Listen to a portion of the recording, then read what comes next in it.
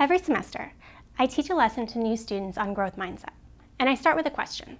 Who here is a math person? Usually about half the class raises their hands. Then I ask, who's not a math person? The other half raises their hands. And then I tell them the trick. Everyone who raised your hand is wrong. There's no such thing as a math person. But our belief about whether we are or are not a math person changes how we learn math. The idea of a math person is an example of a mindset. In general, a mindset is a set of ideas or attitudes that we have about something, especially when those ideas are seen as being difficult to alter.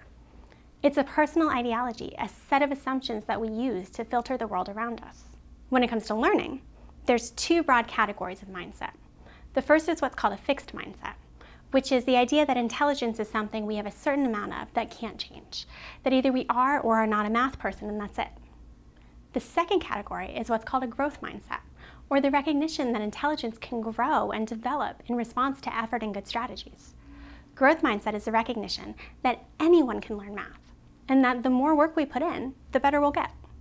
The reason mindset matters is that what we believe directly influences our behavior, and by influencing our behavior, influences our learning outcomes.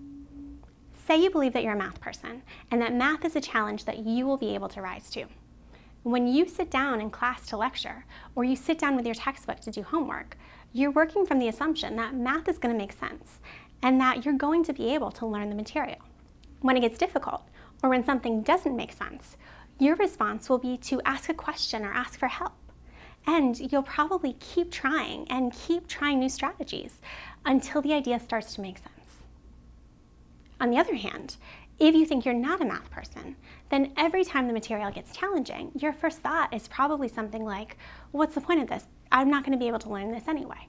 Right? I know I've had those thoughts myself, especially when looking at a really difficult test in front of me. A fixed mindset assumes that there will be a limit on abilities, a ceiling on what you can learn.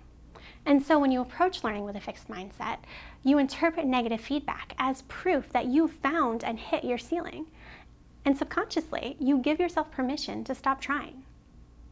Now, I want to be clear. Mindset is not magical thinking. It is not believe and therefore succeed. It is not a cat poster. What it is, is working from the assumption that you'll be able to be successful.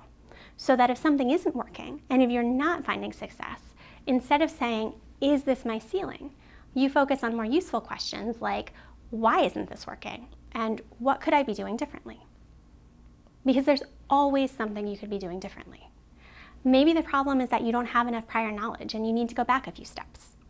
Maybe it's that the study strategy you're using isn't the most effective strategy for the material, or that you're not putting in enough hours and practice to achieve mastery.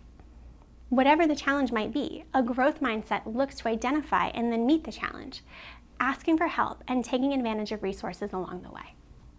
I'm not a cognitive psychologist, so I won't go into the science here, but you should know that the ideas behind growth mindset are how it really works. Our brains learn and change and adapt in response to our effort. And importantly, that process of learning and changing and adapting our brains, what's known as neuroplasticity, takes work. It doesn't always feel easy, and more often than not, it's not meant to. Feeling like it's a challenge to learn something new isn't a sign that we're not going to be able to learn. In fact, to a certain extent, it's a sign that we are learning, that we're putting in the effort that we need to change our brains. My favorite part of teaching this is that for the vast majority of my students, this is not new information. I work with non-traditional students, students who come from community colleges, from the military, from the workforce, students with families and lives outside of the university. My students are not afraid of hard work, and they're not afraid of a challenge. Talking about growth mindset, recognizing that struggle is a part of success and that anything worth doing is worth working for is really just reminding ourselves that what we already know to be true in life also applies in education. What we know is that there's value in hard work, that there is always more than one way to accomplish a goal, that success can mean different things at different times, and that when we're presented with a challenge, the important question is not, can I do this?